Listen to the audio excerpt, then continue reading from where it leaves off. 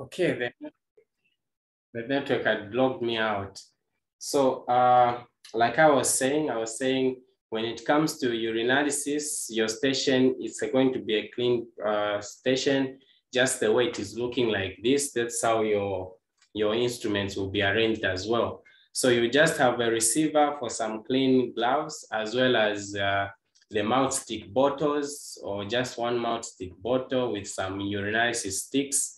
You're going to have a pipette as well as a test tube and some urine, but except you're not going to be given actual urine. So like this is not actual urine, it's just something made to look like urine. And also during OSCE, that is what most is done. But then most during OSCE, what guides you as to what you're expected to find positive is the scenario, because it is in rare cases that they will use actual urine for you to do urinalysis on, on someone's actual urine because certain individual may contaminate or may touch the urine as they are doing the procedure, meaning it may cause contamination. But then when it comes to OSCE, for urinalysis, you need to understand that you're checking for two major things, which are the physical properties as well as the biochemical properties. So when it comes to the physical properties, you uh, check physical properties like the color of urine, the amount of urine that you have been given. Apart from the amount, you also check for any presence of physical particles in urine. For example, are you able to see presence of blood?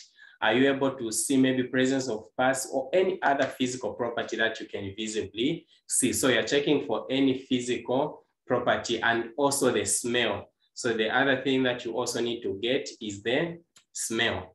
Then apart from those things, then you need to check for the biochemical properties, which are these things which are found on the urinalysis bottle. So you'll find that on the urinalysis bottle, you need to check for biochemical properties such as the glucose. And the glucose is the one you check first because it is down, down there. So you check from uh, bottom coming in up as you are using this particular urinalysis mouth sticky bottom.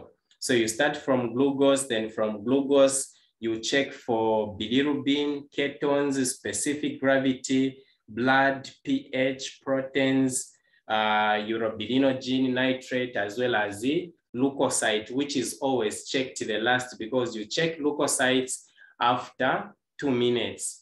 So mostly, like I said, they won't give you actual urine, but they may give you something looking like urine. So in this particular case, you find that maybe the scenario will say, this is Mr. Uh, or Mr. Z who has been brought to your, uh, to your lab for urinalysis or to your medical ward with suspected, uh, let's say, renal failure, and you have been tasked to do urinalysis.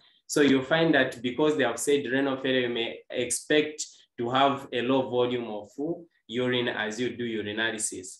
But maybe the scenario says Mr. X has been admitted for diabetes, meaning as you do your urinalysis, you already know to say, oh, what should come out positive in diabetes is glucose. The rest are going to be negative, but then glucose, you should mention it as positive because they will not give you actual urine where uh, sugar or glucose will come out positive. Sometimes the scenarios say this is uh, a patient who has the preeclampsia, meaning hypertension in pregnancy. So for when you're doing urinalysis for preeclampsia, you find that you need to mention that proteins are positive because once you see positive proteins in urine in a woman who's pregnant, it indicates hypertension in pregnancy. So if the scenario says you are doing urinalysis on a patient who has preeclampsia, meaning you should be expected to mention um, uh, proteins as being positive. Sometimes the scenarios may say this patient has a suspected liver failure, for example, liver cirrhosis, where there is severe inflammation of the liver tissue. So in those particular cases, again, you will find that you may be expected to mention as urobilinogen being present in urine. Apart from that, also bilirubin can also come out positive because of uh, the damage to the liver, which cannot properly conjugate and excrete bilirubin. Therefore, you see that urobilinogen as well as proteins may come out positive. Then, so these are some of the things that they may ask you to do, but then they, they won't give you urine where the test will come out positive in that particular manner. So it's more like you imagine based on how the scenario has been phrased.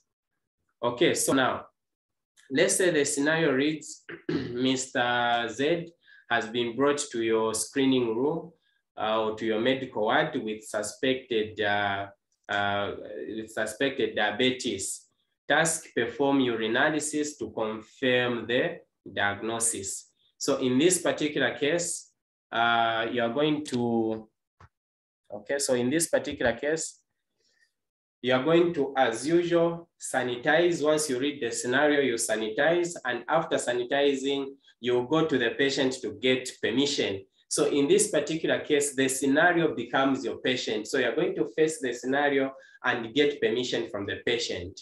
So you will say, uh, Mr. Z, I'm student uh, number 852. I've been assigned to perform urinalysis so that we can confirm the diagnosis of diabetes, which was made earlier. Can I go ahead? Anything I can do for you around here before I proceed? Thank you. I'll be back to tell you my findings. So after you get permission in that manner, you sanitize. Then after you sanitize, you even come to your station like this one. So once you come to your station, you'll find that there's going to be two receivers or kidney dishes.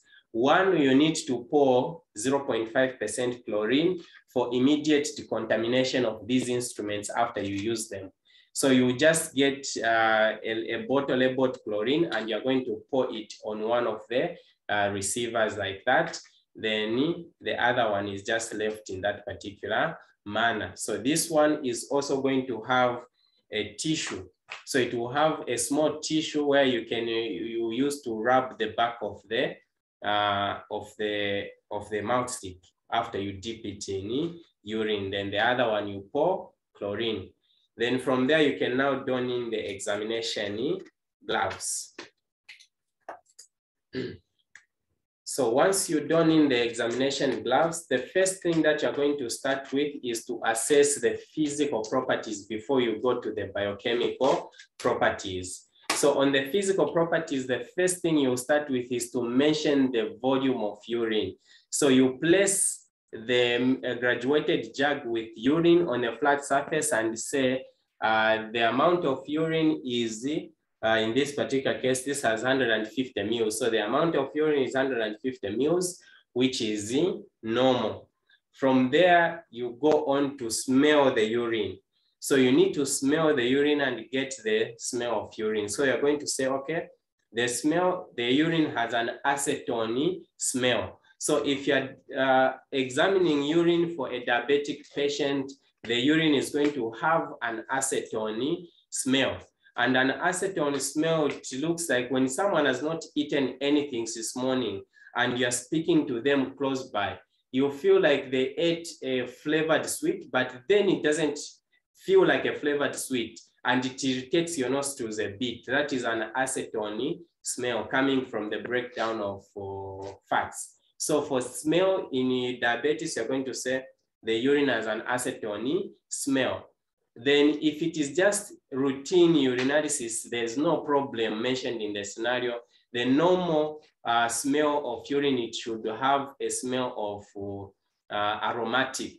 So aromatic is a normal smell of urine that you should get, but in diabetes, we are saying the smell is, uh, it has an acetone smell. So after feeling or for the smell of urine, you are now going to transfer the urine from the uh, graduated jug into the uh, test tube there. So you get urine using a pipette and drop it into the test tube in that manner until you feel it.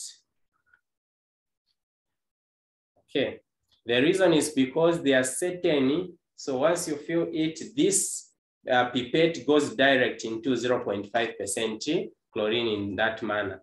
The reason you transfer urine there is because you need to finish up with other physical properties like the color, as well as any presence of any physical properties of which you can only check it in this particular uh, test tube and you take it on a white surface. So you'll find that where you're doing urinalysis from, they will stick a plain paper on the wall, meaning that you take this particular urine on a white surface, or if there's no, they have not stuck a plain paper on the wall, just get a plain paper which will be on your station and press it behind the test tube so that you can observe any physical properties. So in this particular case, we are going to say the color of urine is clear amber, but looks concentrated.